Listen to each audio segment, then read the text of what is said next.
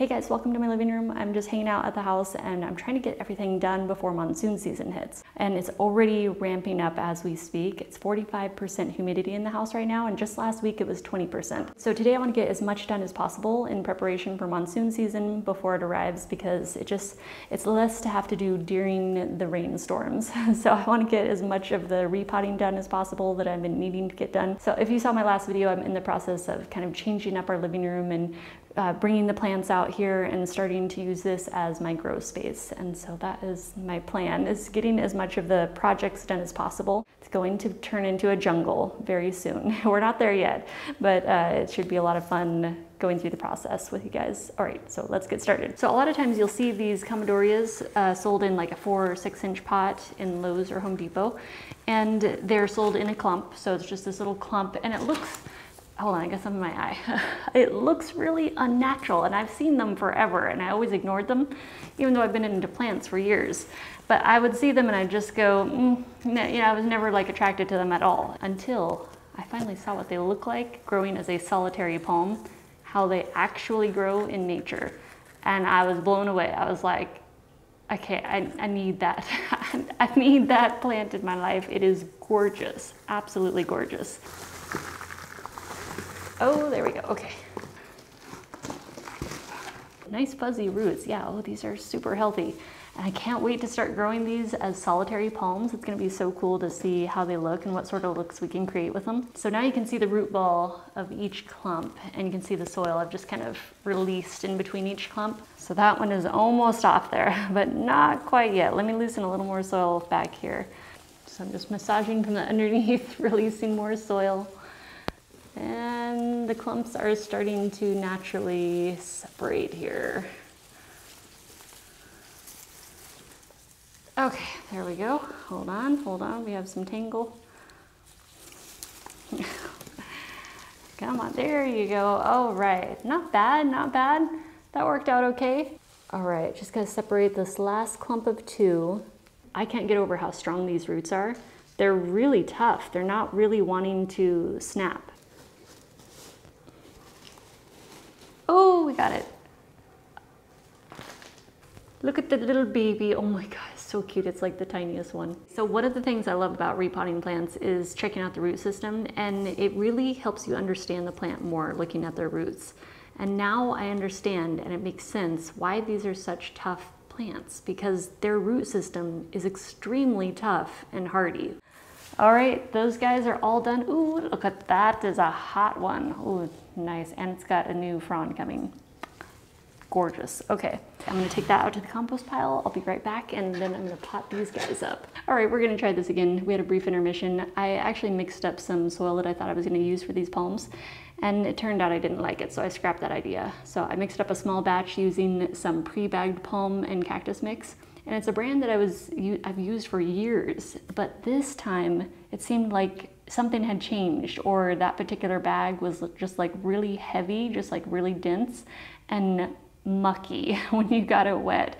So even like super highly amended, I always amend everything really well. So instead what I'm gonna do is make my own mix nice and light and fluffy and airy, but still moisture retentive. So this container is completely clean and ready, freshly washed and bleached after using that bag of palm soil. so we're, cha we're changing things up here. So I'm gonna start with my base. This is the coconut chips and fiber husk. So I'm gonna be using this. So let's see, how much do we wanna use of this? Mm, actually, you know what, yeah. Let's add all of it. And cocoa peat is what I use in place of like peat moss. It's very light and fluffy. Let's add some perlite. I just rinsed my perlite, so it's it's a bit wet right now, but I, I had to rinse out that dust. It gets very dusty. You could just do perlite, but I like I like to add different sizes. I'm gonna add some pumice. Uh, let's do, oh yeah, let's add some charcoal.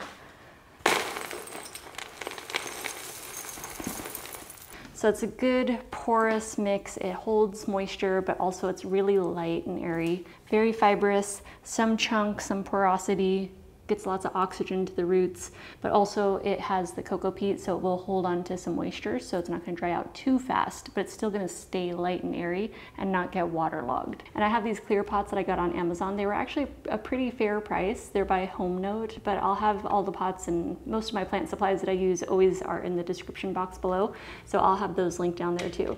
But I really like them a lot so far. All right, let's get you into your new home. You should be much more comfortable now. Oh, this is already eh, feeling so much better. Okay, just gonna give it a few taps. Just get that soil to settle, fill in any gaps. With Chamaedorea elegans palms, you don't want to pot higher than the original soil line. So I'm just potting up to exactly where it was before because they have tender stems and it could cause stem rot. Okay, I'm gonna continue getting everyone potted up. Here's the $10 cat palm I got at Ikea time to get this repotted. This is a clumping palm and it's got a bunch of new starts in here. I can't wait to get it repotted so it can continue clumping and growing bigger. Okay, I'll just try to support it and let's use gravity here. Let's, there we go.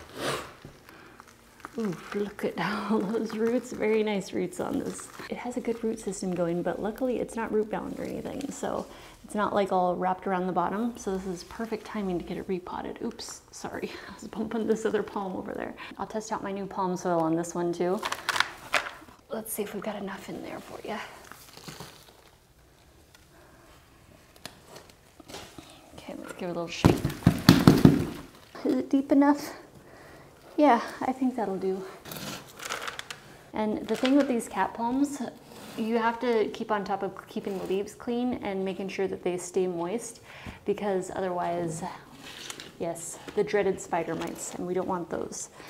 I think this 14 inch pot is gonna be perfect for it. It gives it a couple more inches around the outer edge.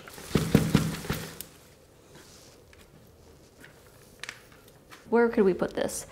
This is such a shiny, glossy, dark green foliage palm. I, I, love this thing. But one thing is they, they have to have moisture in the pot. They do not want to go dry. They're, I think it's called a rheophyte palm. It's, it's meaning that it's a type of palm that grows like near fast moving streams or rivers, you know, like on the banks, if you can imagine how the roots would be always having some water nearby. I wonder if I could have this poem like, no, probably not over there. Maybe over there. Okay, I'm just kind of thinking about some different areas that we could arrange these. You know what? I'm almost wishing that I had another basket.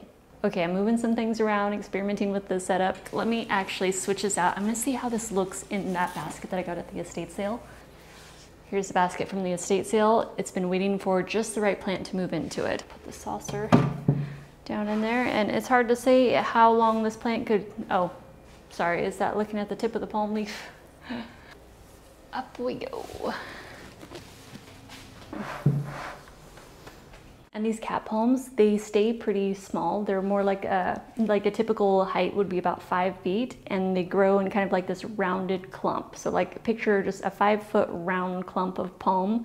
So they don't, they don't grow tall how a lot of palms do. And a lot of palms like sunlight, but these like low light. They prefer more like medium low light. So they, they don't want that real bright light on them, uh, even if it's indirect light. So I'm hoping it's, it's just out of the way in the corner here, missing most of the bright light coming in the window. I had this shelf in the corner before, this little Vittsjö Ikea shelf. It's just a little single one.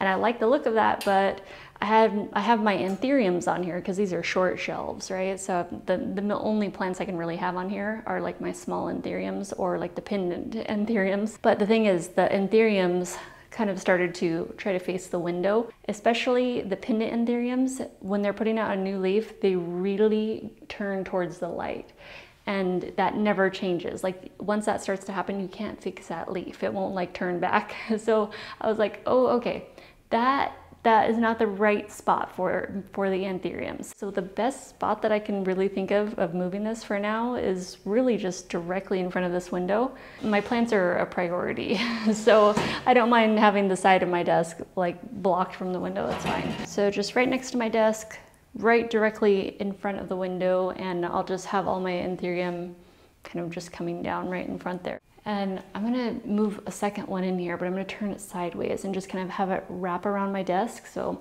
let me grab another shelf. I mean, you could have both of them face straight ahead like this, that cuts too much into the pathway here, so I'm gonna have to turn this sideways. And it's just gonna go kind of wrapped around the front of my desk slightly here.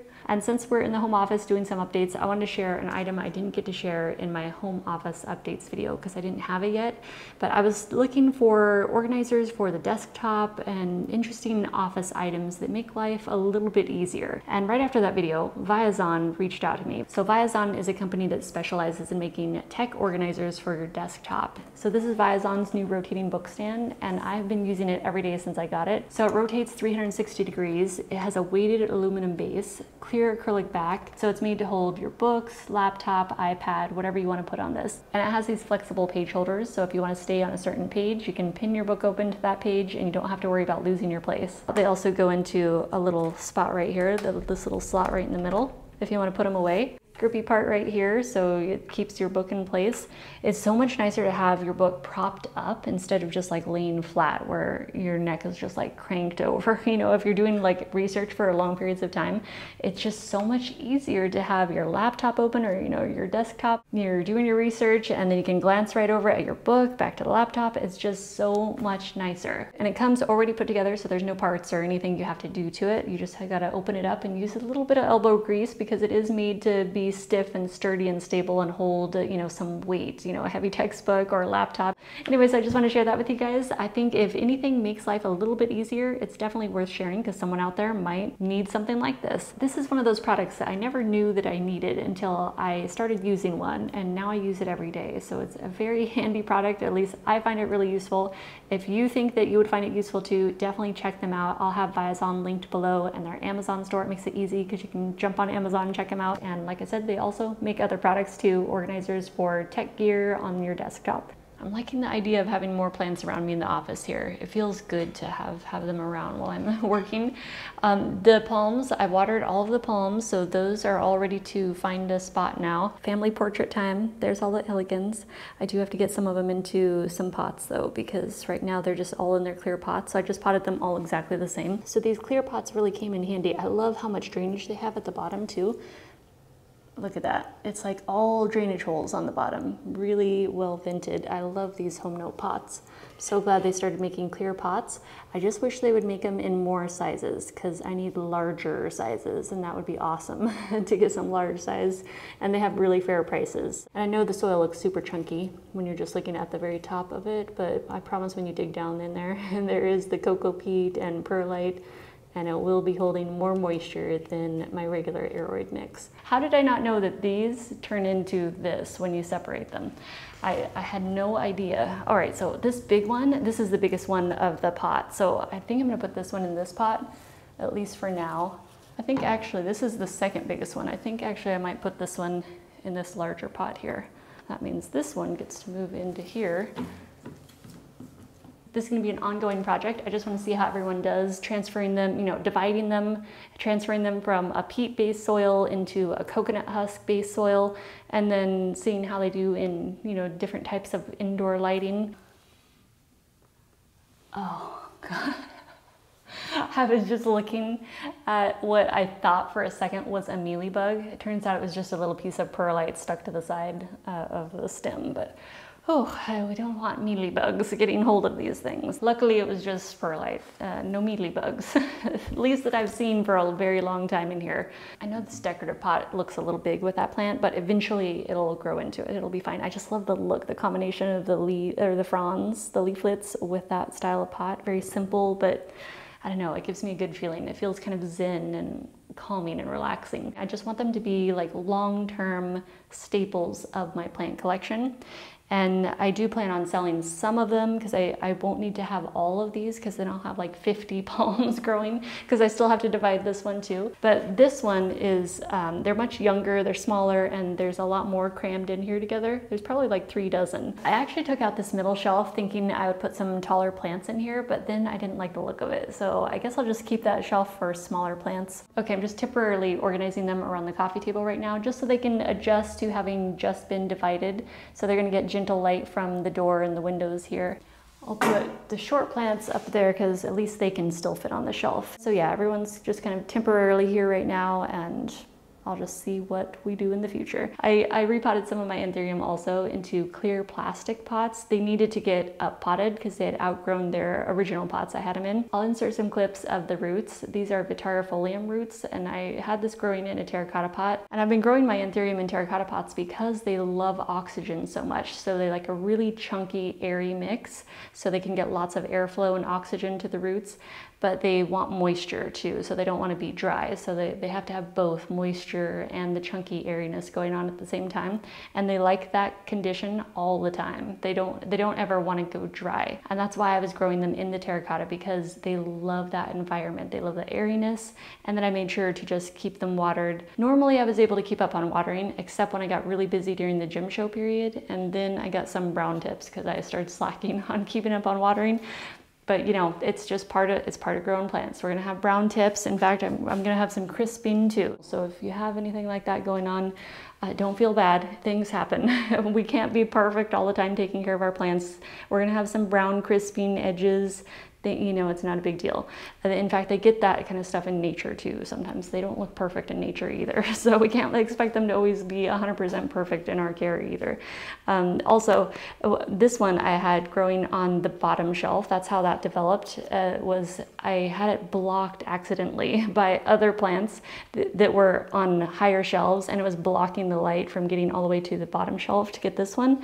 So it started yellowing, and then it started to crisp at the bottoms because the leaf was just like, okay, I'm drying out, I'm dying, and this is not working, so I'm out of here. And the plant was like trying to preserve itself, so we're okay up top there. But anyway, on another note, we do have new baby leaves coming in on some of the baby anthuriums, which are super cute, and we have lots of blooms going on. This one has a very juicy inflorescence there. I, if I had some pollen, I would totally pollinate that right now. Unfortunately, I don't. So I'm gonna have to wait and get the pollen from that one and pollinate this one over here because I've got another inflow coming there, a leaf, and then another inflow on this one too. So I can't wait to make some baby pallidiflorums. And I got these when they were little seedlings and I'm, I'm really excited to see them bloom for the first time. So these are their very first blooms, like that one right there very first one. Super exciting to get to see the, the progress on your plants. And this Vittarifolium, also I got that originally as a seedling. That has two brand new leaves coming. I also repotted the Clarinervium, so they're in nine inch plastic clear pots now, so I get to see them grow. Hopefully they're not too mad about it because they, they also grow really well in terracotta. Oh, this one has an inflow too, up here with berries. If I can get the camera to focus. There they are. Oh, I can't wait. I really want to make some baby clear clarinerviums. That would be fun. All right, so I'm gonna get started in the next video actually. So I'm gonna end this vlog now. Hold on, let me put the camera back on the tripod. All right guys, thank you so much for hanging out with me today as I was getting those repots done and kind of getting things tightened up around here before monsoon season rains hit. Uh, there's more to do though, so I'm gonna let you go for this video and I'm gonna start working on the next one. All right, I love you and I'll see you in the next one. Bye.